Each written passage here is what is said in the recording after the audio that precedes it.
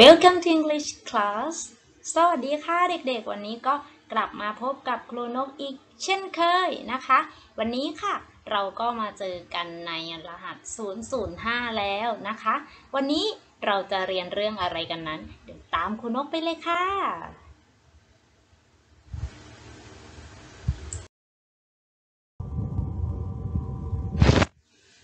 โอเคค่ะเด็กๆ เรายังอยู่ที่ การเปรียบเทียบหรือ comparison เหมือนเดิมนะคะ แต่ว่าครั้งที่แล้วค่ะ เราเรียนขั้นเท่าไปใช่ไหมคะ ครั้งนี้ค่ะ ครูโนตจะพาเด็กๆเรียนขั้นที่ 2 นะคะ ส่วนขั้นที่ 2 จะมีชื่อว่าอะไรนั้น และเด็กๆยังจำได้ไหมคะว่าการเปรียบเทียบมีกี่ขั้น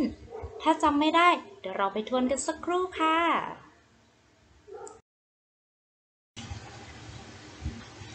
มาทบทวนกันนิดนึงค่ะเด็กๆ การเปรียบเทียบมีทั้งหมด 3 ขั้นด้วยกันนะคะ ขั้นที่ 1 positive degree หรือขั้นธรรมดา หรือเรียกอีกหนึ่งชื่อว่า ขั้นเท่าก็ได้ค่ะ อันนี้เราเรียนไปครั้งที่แล้วนะคะ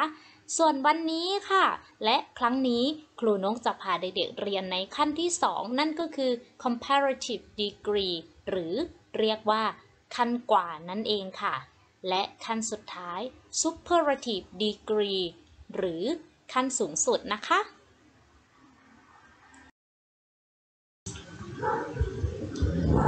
เอ๊ะเด็กๆ คะ ก่อนที่จะไปเรียนการเปรียบเทียบในขั้น comparative degree เด็กๆ ยังจำได้ไหมคะว่า adjective หรือคำคุณศัพท์นะคะ เราใช้ในการเปรียบเทียบทั้ง 3 ขั้นค่ะ นอกจาก adjective แล้วนะคะก็ยังมี adverb หรือคำวิเศษค่ะ ใช้ในการเปรียบเทียบได้ในทั้ง 3 ขั้นเช่นกันค่ะ เดี๋ยวเราไปดูกันนะคะว่าใช้ยังไงค่ะ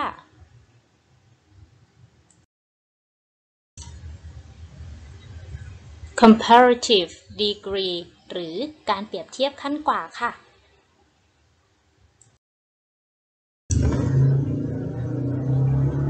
ค่ะเด็ก การเปรียบเทียบในขั้นกว่า หรือ comparative degree นี้ เป็นการเปรียบเทียบสิ่งของสองสิ่งนะคะ คนสองคนหรือสองสถานที่ว่ามีค่ากว่ากันค่ะ อาจจะมากกว่าหรือน้อยกว่าก็แล้วแต่ adjective หรือ adverb ที่เรานำมาเปรียบเทียบนะคะ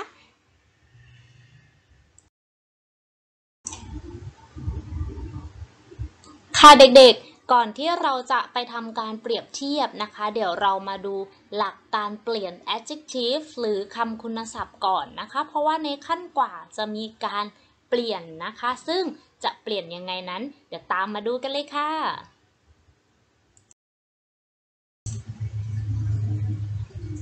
มาดูข้อแรกกันเลยนะคะ เด็กๆสำหรับ คำคุณศัพท์ที่มีพยางค์เดียวนะคะ ให้เด็กๆเติม er นะคะ ลงไปได้เลยอย่างเช่นคำว่า long อ่าเดี๋ยวคุณนุให้ดูนะคะ อย่างเช่นคำว่า long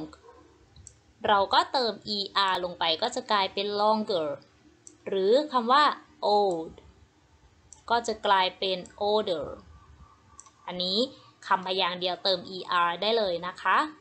ส่วนข้อที่ 2 ค่ะ คำคุณศัพท์ที่มี 2 พยางค์นะคะ ลงท้ายด้วย er หรือ ow นะคะ อันนี้เด็กๆก็สามารถเติม er ลงไปได้เลยเช่นกันค่ะ อย่างเช่นคำว่า clever เห็นไหมคะ ลงท้ายด้วย er เด็กๆก็เติม er อีกหนึ่งครั้งนะคะ ก็จะกลายเป็น clever หรือ narrow อันนี้เห็นไหมคะ ลงท้ายด้วย ow เราก็เติม er ได้เลยก็จะเป็น narrower ส่วนข้อที่ 3 ค่ะคำคุณศัพท์ที่ลงท้ายด้วย e นะคะ เราก็เติม r ได้เลยค่ะ อย่างเช่นคำว่า wide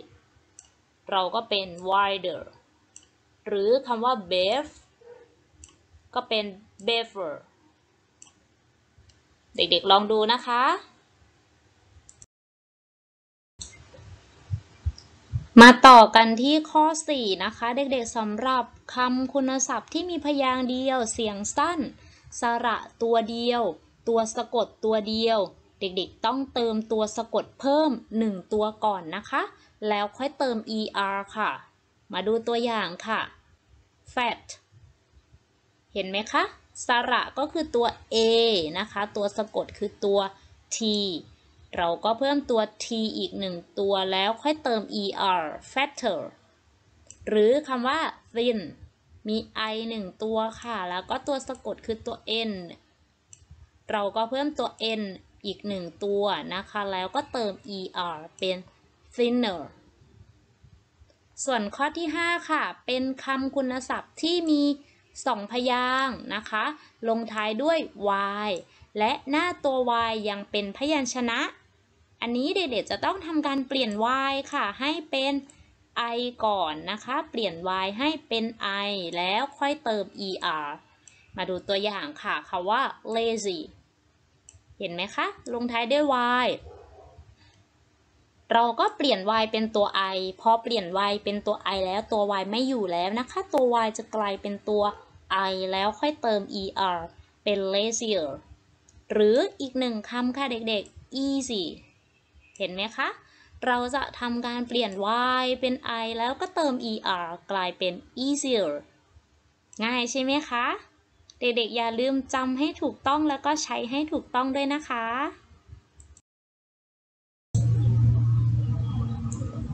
ข้อที่ 6 กันแล้วนะคะคำคุณศัพท์ที่มี 2 ถึง 3 พยางค์นะคะ ลงท้ายด้วย less full ing หรือ ing นะคะ หรือว่าจะเป็นคำวิเศษหรือ adverb ที่ลงท้ายด้วย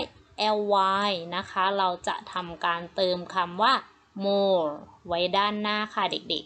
ๆ มาดูตัวอย่างนะคะ careless ก็กลายเป็น more careless useful เห็นไหมคะสองพยางแต่ว่าลงท้ายด้วย ful หรือว่าคำว่า full เราก็ใส่ more ข้างหน้า more useful boring เห็นไหมคะ ลงท้ายด้วย ing เราก็ใส่ more ข้างหน้าก็กลายเป็น more boring สุดท้ายค่ะ happily เห็นไหมคะ ลงท้ายด้วย ly ก็กลายเป็น more happily สังเกตว่า คำจะไม่มีการเปลี่ยนเลยนะคะ จะ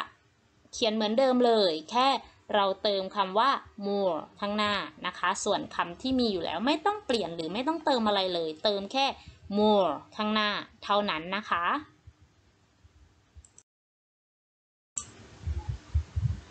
และสุดท้ายข้อที่ 7 ค่ะเด็กๆสำหรับคำคุณศัพท์บางคำนะคะ จะเปลี่ยนรูปหรือ เปลี่ยนหน้าตาไปเลยนะคะ อย่างเช่นคำว่า good ขั้นกว่าจะกลายเป็น better คำว่า bad ขั้นกว่าจะกลายเป็น worse คำว่า little จะกลายเป็น less คำว่า many กลายเป็น more โดยเฉพาะคำที่เปลี่ยนรูปไปเลยเนี่ย เด็กๆจะต้องอาศัยการจำให้เยอะๆนะคะ แล้วก็ใช้บ่อยๆค่ะ จะได้จำได้นะคะเด็กๆ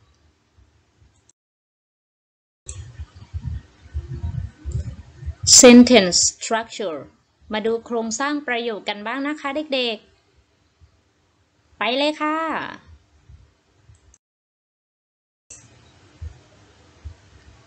affirmative sentence ประโยคบอกเล่า เป็นการเปรียบเทียบ adjective กับ verb to be ค่ะเด็กๆ โครงสร้างนะคะ มี subject ค่ะ ตามด้วย is หรือ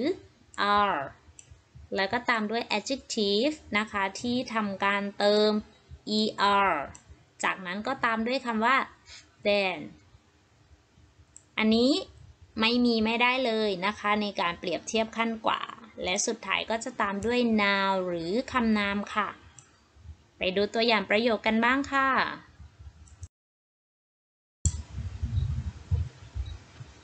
มาดูตัวอย่างประโยคแรกค่ะ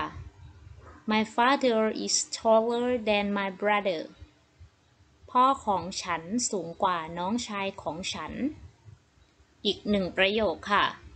Red shoes are cheaper than white shoes รองเท้าคู่สีแดงถูกกว่าคู่สีขาวค่ะ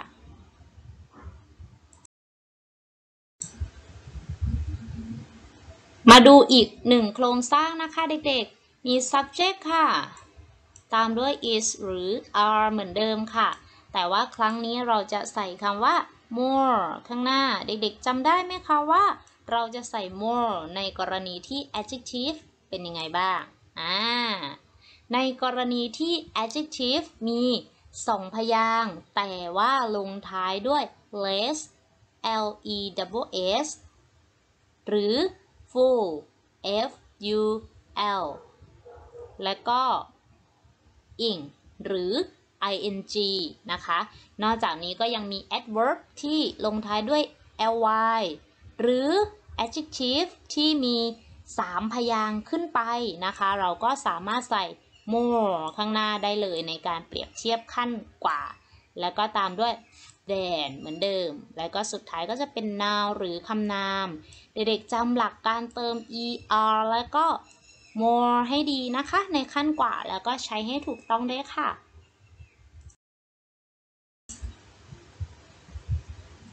มาต่อที่ตัวอย่างประโยคค่ะ The vegetable is more useful than candy ผักมีประโยชน์กว่าลูกอม อีกหนึ่งประโยคค่ะ Red shoes are more beautiful than white shoes รองเท้าคู่สีแดง สวยกว่าคู่สีขาว สังเกตเห็นไหมคะว่าเราจะใส่ more สองพยางแต่ว่าลงท้ายด้วย f u l เห็นไหมคะ แล้วก็อีกหนึ่งคำจะเป็น more นะคะ แต่ว่ามี 3 พยางขึ้นไปเนี่ยเด็กๆใส่ more ด้านหน้าได้เลยนะคะ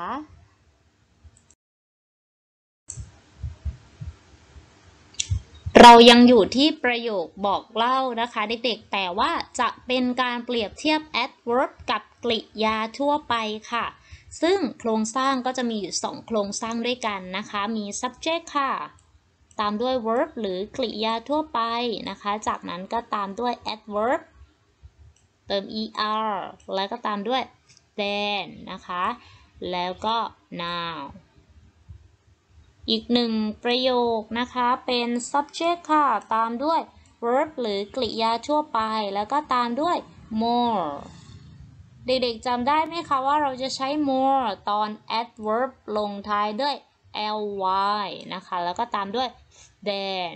และก็ now เช่นเดิมค่ะ ไปดูตัวอย่างประโยคกันค่ะ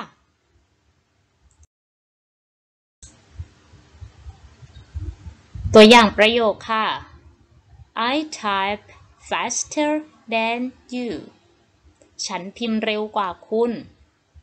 อีกหนึ่งประโยคค่ะ Bob sings more sweetly than I บ๊อบร้องเพลงไพเราะกว่าฉัน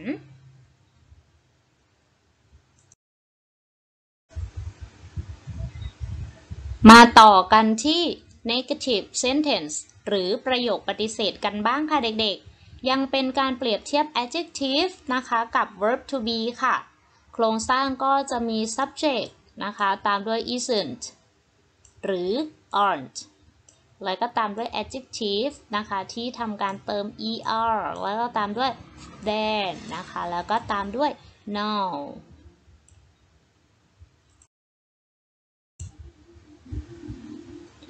ตัวอย่างประโยคค่ะเด็กๆ My father isn't taller than my brother พ่อของฉันไม่สูงกว่าน้องชายของฉัน อีกหนึ่งตัวอย่างนะคะ Red shoes aren't cheaper than white shoes รองเท้าคู่สีแดง ไม่ถูกกว่าคู่สีขาว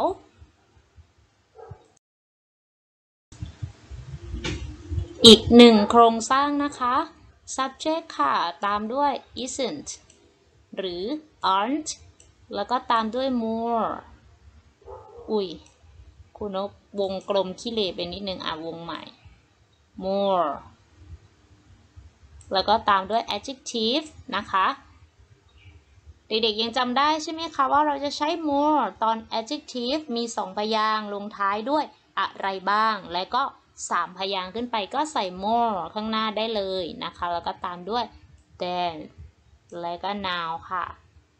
ที่สำคัญเนี่ยเด็กๆจะต้องจำนะคะว่าเราใช้ more ในกรณีไหนบ้างเด็กๆต้องจำให้ดีเลยนะคะ ข้อนี้ไม่งั้นเดี๋ยวจะทำไม่ถูกนะคะ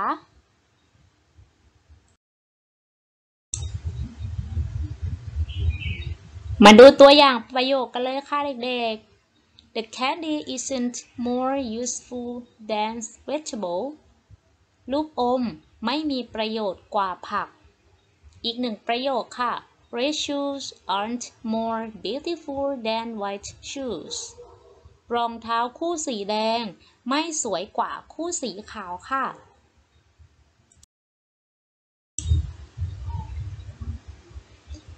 ยังอยู่กันที่ negative sentence หรือประโยคปฏิเสธนะคะ เปรียบเทียบ adverb กับกริยาทั่วไปค่ะเด็กๆ มาดูโครงสร้างกันค่ะ subject ตามด้วย doesn't หรือ don't แล้วก็ตามด้วย verb ช่องที่ 1 หรือกริยาทั่วไปค่ะ adverb เติม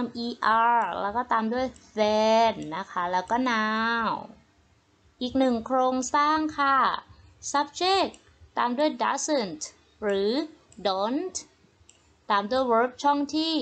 1 นะคะ ตามด้วย more แล้วก็ adverb เด็กๆจำให้ดีนะคะว่าเราใช้ more กับ adverb ที่เป็นยังไงบ้าง จากนั้นตามด้วย then ค่ะ และก็ now เหมือนเดิมนะคะ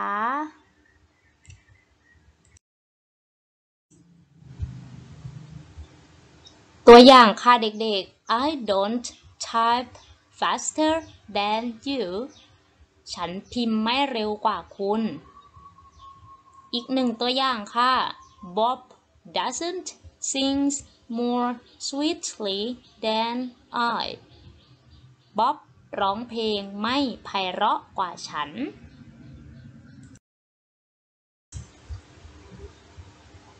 มาที่ข้อที่ 3 กันค่ะ yes no question หรือประโยคคำถามนะคะ เปรียบเทียบ adjective กับ verb to be ค่ะ โครงสร้างก็จะมี is นะคะ หรือ are ตามด้วย subject ค่ะ ตามด้วย adjective เติม er ตามด้วย then เหมือนเดิมนะคะ แล้วก็ตามด้วย now ที่ห้ามลืมเลยนะคะ ในประโยคคำถามนั่นก็คือเครื่องหมาย question mark ค่ะเด็กๆ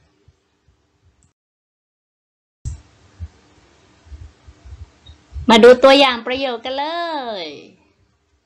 Is your father taller than your brother พ่อของคุณสูงกว่าน้องชายของคุณใช่ไหม อีกหนึ่งประโยคค่ะเด็กๆ Are red shoes cheaper than white shoes รองเท้าคู่สีแดง ถูกกว่าคู่สีขาวใช่ไหม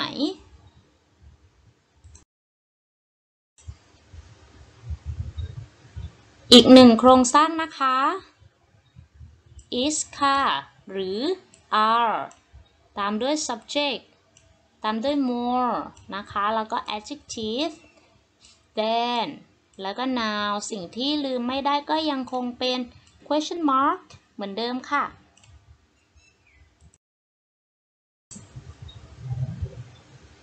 มาต่อที่ตัวอย่างค่ะ Is the vegetable more useful than candy ผักมีประโยชน์กว่าลูกอมใช่ไหม อีกหนึ่งประโยคนะคะ Are red shoes more beautiful than white shoes รองเท้าคู่สีแดง สวยกว่าคู่สีขาวใช่ไหม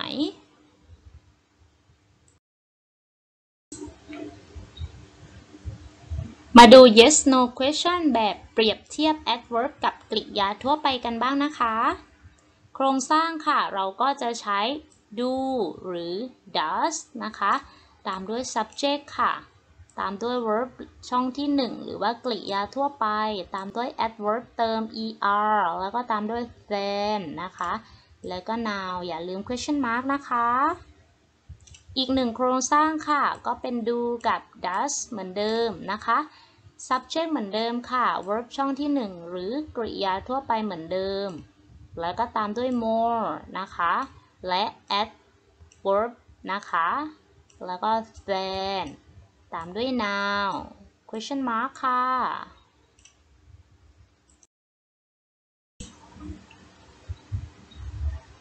ตัวอย่างค่ะเด็กๆ Do you type faster than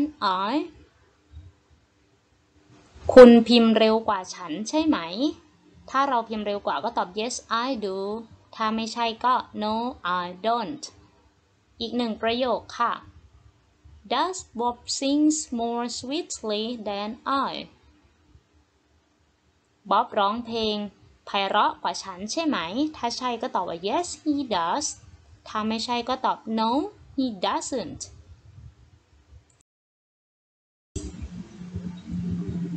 และสุดท้ายค่ะเด็กๆก็จะเป็นแบบที่ 4 นะคะ หรือ WH question ค่ะ เป็นประโยคคำถามเหมือนกันนะคะ ซึ่ง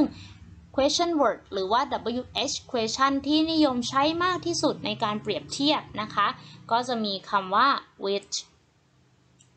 what what kind of whose และก็ who นะคะ เด็กๆจะต้องรู้ความหมายของคำเหล่านี้ด้วยนะคะ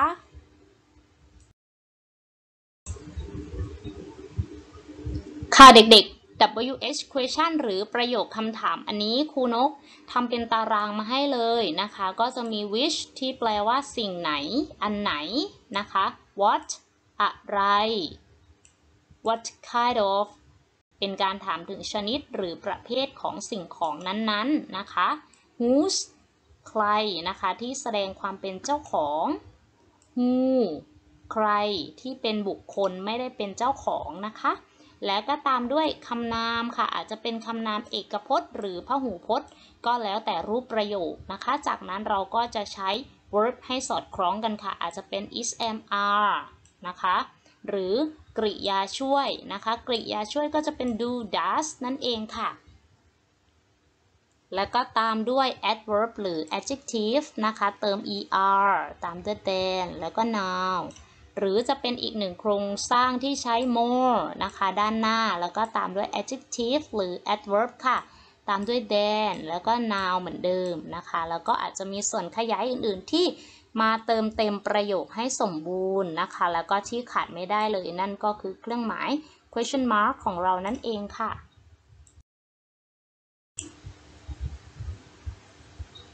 ทีนี้เราก็ลองมาดูตัวอย่างประโยคกันบ้างนะคะเด็กๆ Which house is bigger than that house บ้านหลังไหนใหญ่กว่าบ้านหลังนั้นคำตอบก็อาจจะมีบ้านของใครสักคนหนึ่งนะคะ อย่างเช่น Tom's house is bigger than that house หรือตัวอย่างอีกหนึ่งประโยคค่ะ Which car is more expensive than that car รถคันไหนแพงกว่ารถคันนั้น คำตอบก็อาจจะเป็นรถของใครสักคนหนึ่งนะคะ อย่างเช่นรถของ Alex ก็จะเป็น Alex car is more expensive than that car ค่ะเด็กๆสำหรับการเปรียบเทียบในขั้นกว่านะคะ หลักๆเลยก็จะมีการเติม er นะคะ แล้วก็ใส่ more นะคะและ adjective หรือ adverb ในการเปรียบเทียบค่ะ เด็กๆ อย่าลืมไป จดจำหลักการเติม er หรือว่าหลักการเปลี่ยนต่างๆ ให้ดีนะคะ และก็ใช้ให้ถูกต้องด้วย ถ้าเด็กๆยังไม่เข้าใจก็สามารถชมคลิปวิดีโอวนซ้ำๆได้หลายรอบเลยนะคะ แล้วก็ครูนกยังมีใบความรู้ให้เด็กๆด้วยนะคะ อย่าลืมทบทวนให้เข้าใจนะคะ เด็กๆ ครูนกเป็นกำลังใจให้ค่ะ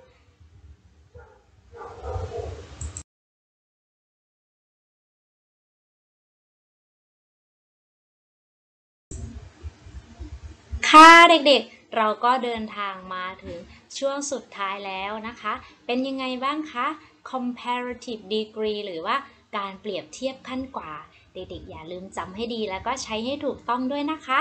แล้วก็สุดท้ายค่ะเด็กๆ อย่าลืมไปดาวน์โหลดใบงานที่คุณครูนกได้ทำไว้ให้เด็กๆนะคะ